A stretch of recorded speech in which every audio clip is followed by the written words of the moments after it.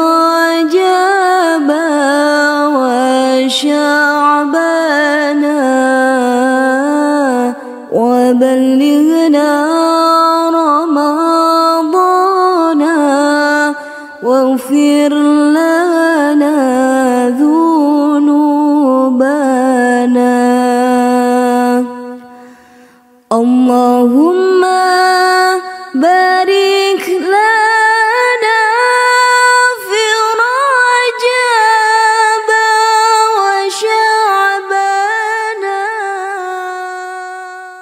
Bulan Rojab, satu dari empat bulan mulia atau bulan haram dalam kalender Hijriah. Jamak di kalangan muslim bahwa terdapat perlakuan khusus dalam mengisi bulan-bulan mulia itu, misalnya dengan meningkatkan aneka amal kebaikan.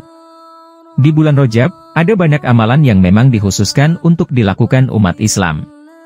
Amalan-amalan itu merujuk pada apa yang diajarkan Nabi Muhammad Shallallahu Alaihi Wasallam, para ulama salafus soleh, kemudian dilanjutkan oleh masyarakat muslim hingga saat ini. Di antara amalan itu misalnya doa bulan Rojab, zikir, puasa, dan seterusnya. Sesungguhnya Rojab adalah bulan yang agung, dan ibadah di dalamnya mendapatkan pahala yang besar, terutama puasa, dan istighfar serta tobat. Nabi Muhammad Shallallahu Alaihi Wasallam dalam salah satu hadisnya menegaskan bahwa bulan Rojab adalah bulan Allah. Artinya, sesungguhnya Rojab adalah bulannya Allah, Syaban adalah bulanku, dan Ramadan adalah bulan umatku.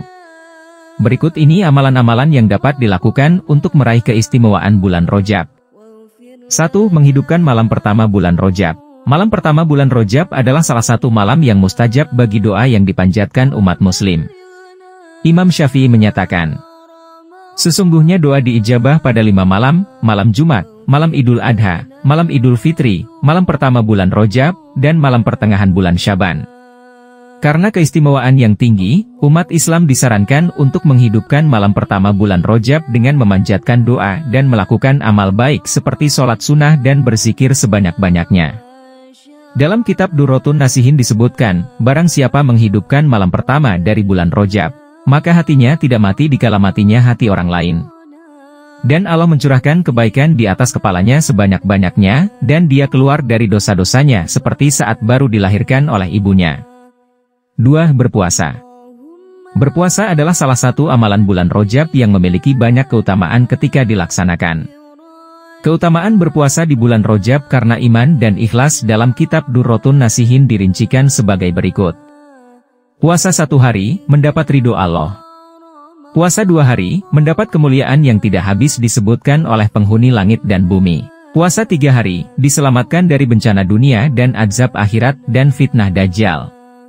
Puasa tujuh hari, ditutup tujuh pintu jahanam untuknya. Puasa delapan hari, dibuka delapan pintu surga untuknya.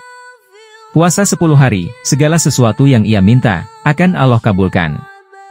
Puasa 15 hari, Allah ampuni segala dosa-dosanya yang telah lalu, kesalahan-kesalahannya digantikan dengan kebaikan. Dan barang siapa yang menambah puasanya, Allah akan tambahkan juga pahala baginya. 3. Memperbanyak sholawat.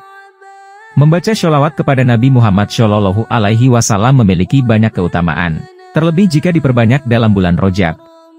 Dari Abdurrahman bin Auf, Rasulullah Shallallahu Alaihi Wasallam bersabda, yang artinya, Jibril telah datang kepadaku dan berkata, Ya Muhammad, tidak seorang pun yang bersholawat kepadamu kecuali didoakan oleh 70 ribu malaikat.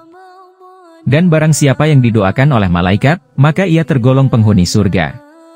Berbagai bacaan sholawat dapat diperbanyak pada siang dan malam hari di bulan Rojab, mulai dari yang bacaannya singkat seperti sholawat Jibril hingga yang panjang seperti sholawat Nariyah dan Badar. 4. Membaca istighfar. Lebih banyak di antara amalan-amalan bulan Rojab, para ulama menganjurkan untuk memperbanyak memohon ampunan kepada Allah Subhanahu wa Ta'ala dengan bacaan istighfar. 5. Berzikir bacaan doa dan tasbih bulan Rojab. Bahwa ketika telah memasuki bulan Rojab, Rasulullah Shallallahu Alaihi Wasallam banyak membaca doa. Allahumma barik lana, fi rojaba wa syabana, wa balighna ramadona wa hasil makosidana.